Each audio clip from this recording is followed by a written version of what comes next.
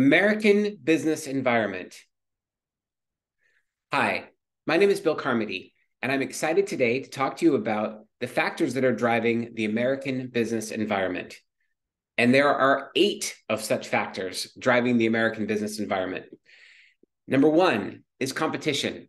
The US has a highly competitive business environment with a large number of domestic and international companies operating in various industries. Now, that might be counterintuitive. You might think, well, wait, I don't want a lot of competition. But in truth, that competition helps drive efficiency and effectiveness of every industry. So the more competitive it is, the easier it is for you to be able to carve out your niche and your slice of that growth. Number two is regulation.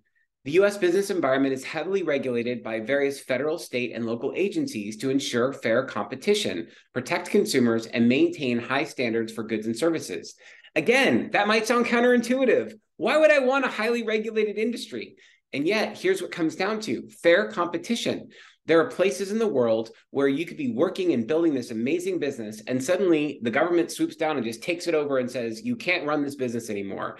Or there's a giant monopoly that means you can't compete. Or you might find that they're not protecting consumers. And so essentially, one of your competitors is giving you a bad name because you're giving the entire industry a bad name. So the idea of maintaining high standards through regulation means that there is a fair understanding between what a consumer buys and what they receive. Innovation. The US is known for its culture of innovation and entrepreneurship, which drives business growth and development. The more we innovate together, it affects all of the people that are playing in that particular industry. And consumer demand. Consumer demand drives the US economy and plays a major role in shaping business strategy and decision making.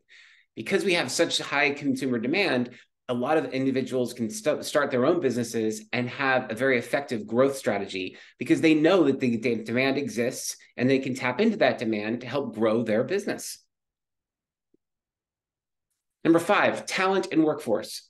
A highly skilled and diverse workforce is crucial in the success of a US business and companies are constantly seeking to top talent to drive their operations. In other words, we want to have the best people working on our business. And if we have a highly diverse and skilled workforce, that means when you're establishing a business in the United States, you should be able to scale effectively by having the right people working on the right aspects of your business. Access to capital is number six.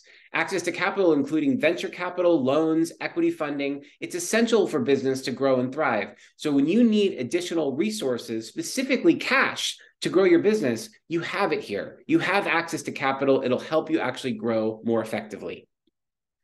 Technology. The rapid pace of technology innovation has transformed the US business landscape and continues to play a key role in shaping the future of commerce. So, not to be taken lightly, having great technology behind you helps you ramp, helps you scale. And lastly, globalization. The US is a major player in the global economy, and businesses must be able to adapt to the challenges and opportunities of international trade and commerce. We are well set up to co- create businesses here in the United States and then compete globally. So, we know that you can start your business anywhere. These are the main eight factors as to why you would want to start your business here in the United States. And so, again, I'm biased because I'm here in the United States and I've built and exited many multi million dollar marketing agencies. And at the same time, what I would love to share with you is, is that there are more and more solopreneurs, uh, million dollar one person businesses. And a lot of that is because of all these factors we just discussed. And ultimately, what it comes down to when you're thinking about your business environment is are you planting your company seed in the most fertile soil? The United States has a lot of really great fertile soil, and I think it would be a great place for you to consider when establishing your business.